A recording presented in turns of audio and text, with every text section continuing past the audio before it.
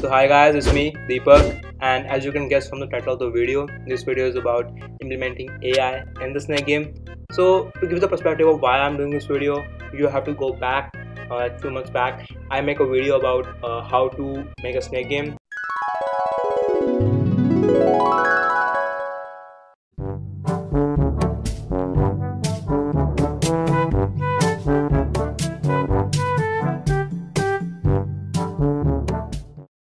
That was the first piece of code for a game that I written myself. Uh, so I was very proud of that game. And uh, and a few weeks back, I make a video about uh, implementing A star algorithm and visualizing it.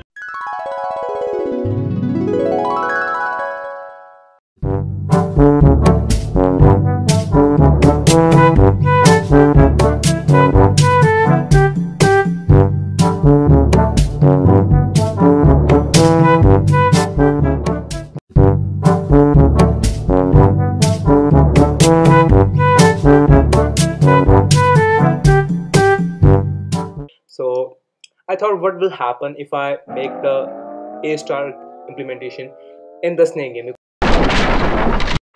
Because uh, snake is about finding the uh, fruit and eating it. But uh, it didn't work out because it was slow because I have to process uh, tail at every single point and it becomes a really big hassle.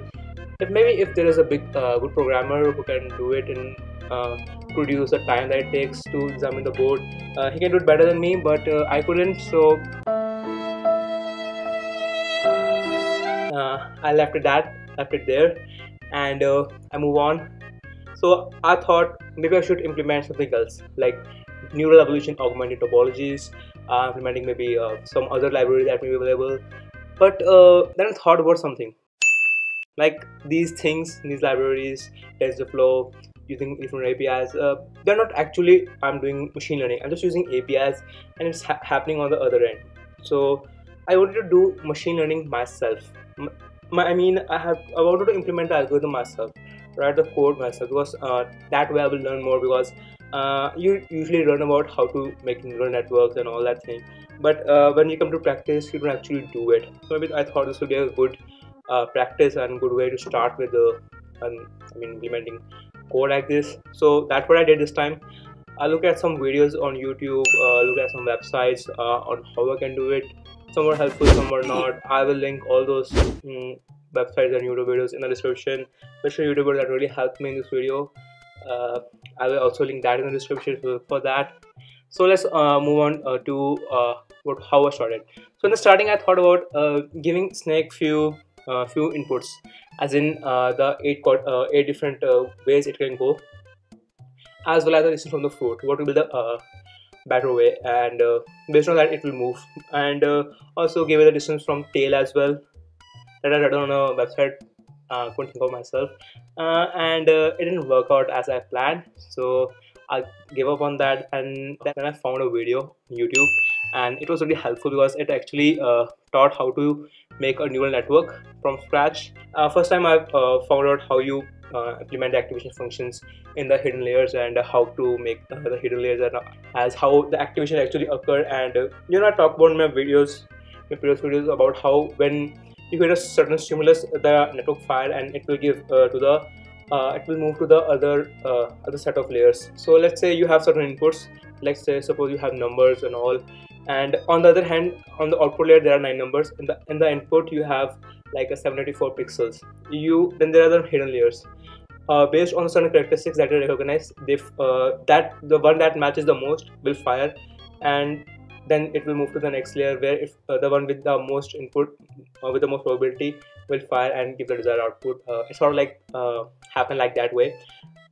So i thought about doing that. I take the board and give it to the network and the network will figure out how to process it so let's talk about uh, how the project actually went. So i think i just encountered one more issue that programmer has to go through. The one that is actually training the data set. You need a reliable power source. Because power supply. Because if you don't have a reliable power supply and you're training a neural network um, it will take an eternity to train the model. And especially if uh, you're having a hundred population and a hundred generations then uh, god forbid if uh, like after a few generations the power went off uh, then you're doomed. You have to start from the again. start from the zero generation, and it's really a big deal for me because I use a desktop, and uh, many times there's a power outage here because it's a rainy season here. So the power really went off, and uh, the, like I thought coding was tough, then I thought debugging your code was tough, and now there is another issue that I've encountered. Like I have to have a power supply. I don't want to use inverter because uh, I, I think uh, it may it may I don't know harm my system in some ways yeah that makes sense. Uh, this is I don't want to uh, new issue here. So uh, I was coding it and also there's one more issue. Like uh, sometimes the issue come when I'm creating a new generation and like there are 100 population i'm doing 100 population at one time. So the time that i wasted here it, it literally takes like a half an hour almost to train one generation.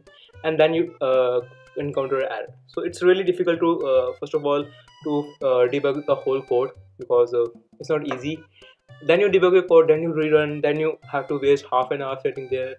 Uh, so uh, you just you can just look at the title bar on the on top of your screen you can see how much time I wasted just uh, to train this one generation.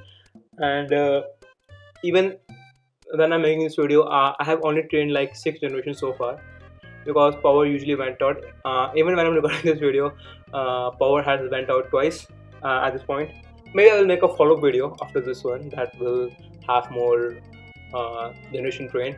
I will send this code to my friend and he will train it and he will see how many uh, at which generation he will uh, he can have a more reliable snake that can uh, eat more apples. At this point uh, I have only one that can eat three.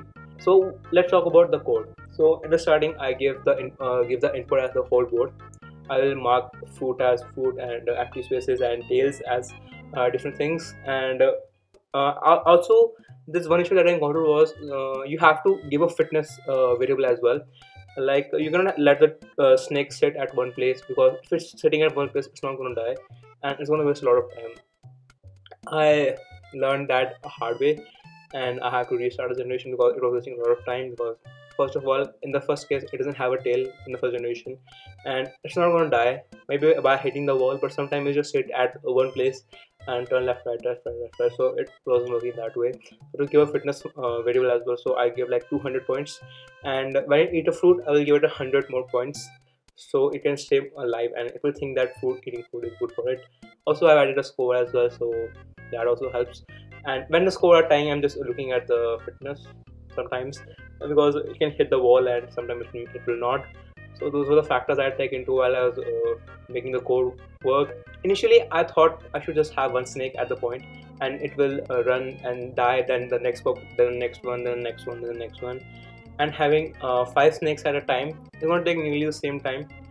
Uh, but it looks better when you have more snakes at the window than just one because you think it's working faster. It's not. It's going to take the same amount of time. But uh, I just thought maybe uh, in this way I can uh, at least uh, see different snakes at the same time and see how their uh, network is different because at the first uh, in the first generation everyone has different layers uh, they're just random at first so it's not like uh, one is really good unlike my flappy bird game in which the only thing they have to figure out was I mean flappy one is a really easy one because you just have to avoid the pipes and I was using NEAT at that time so I don't know how that works but uh, when you when I made the game, uh, it was uh, in the first generation. Uh, one of the uh, population was able to uh, like go until like 200 points or more. I, I just uh, exit at the 200 because I don't want to wait that long. And uh, uh, in this case, even after like I don't I don't think even after like 20 generation, you will have a snake that can play like an actual human. Far from it, maybe after like 50 or 70 generation it will be able to uh, play decently. Although i have so far only run like uh, six generations and uh, at this point you can only eat like three tails. Sometimes it ate four but that just a fluke because the food just uh, appeared at, near near the snake. Also here you can see i have uh, uh, made the game where now i have five snakes at the time and they move differently. And you can even see that in the first generation how dumb they are. I was actually saying like go up go up or go down. I was so fed up with uh, training the model at the same time. And uh, this uh, footage is actually sped up at uh, like 10 times. So what you're seeing is uh, like uh,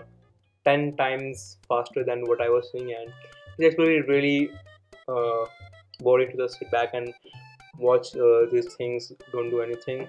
Sometimes they eat it but it's usually because it's really close to them or i don't know the new network is random so what you can expect from them is uh, nothing. Because it will only gonna improve after few generations. It's like how genetic algorithm actually works. Uh, so so far uh, i'm talking about genetic algorithm but i haven't talked about how they actually works. I think i'll just give you some context on how they work. So at first what's gonna happen is uh, you're gonna have a random generation. Then uh, you're gonna see which one are doing the best. You're gonna take them then you're gonna uh, have to uh, the same amount of population i'm taking like there were 100 population i was taking 25 then i was taking 25 and mutate them.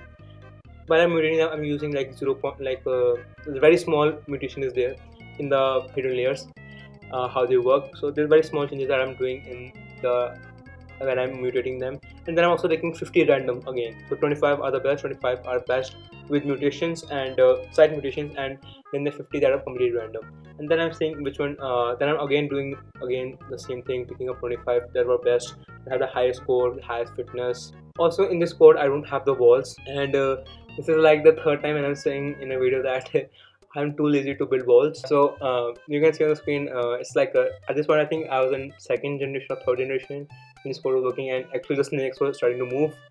Uh, at that point I figured out a mistake that I was making. Like when I when you have a lot of tail you have a collision uh, initially this is just the uh, okay so one thing I have to make clear is the, the code of the snake game is uh, just the game code that I have on the github. I will link that in the description.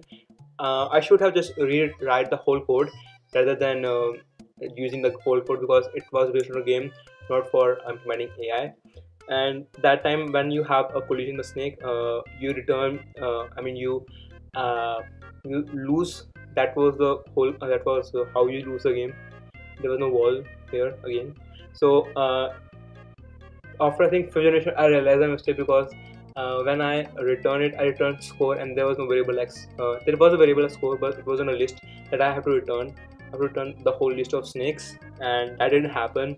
And uh, so these are the few mistakes that you realize uh, as you train your model. And i don't want to say it waste your time because you learn uh, these things and they're definitely they are definitely gonna uh, help me in future but uh, at present it seems like a huge uh, waste of time especially on a sunday when you should relax.